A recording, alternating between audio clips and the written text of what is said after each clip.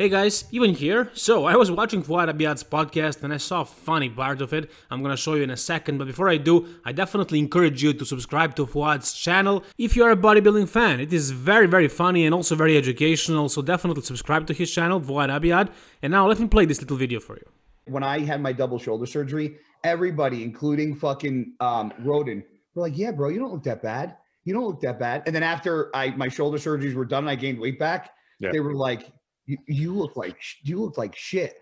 Yeah, yeah. I- oh, you know who was the most? You know who was the honest one? Was Cutler. I saw him at an expo in fucking San Jose. He goes, "Bro, what are you like 160?"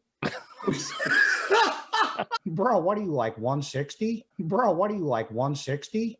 So I found this pretty hilarious. If you guys have to, like this video. If you want to see more bodybuilding content like this, subscribe to my channel. All the best guys and bye bye.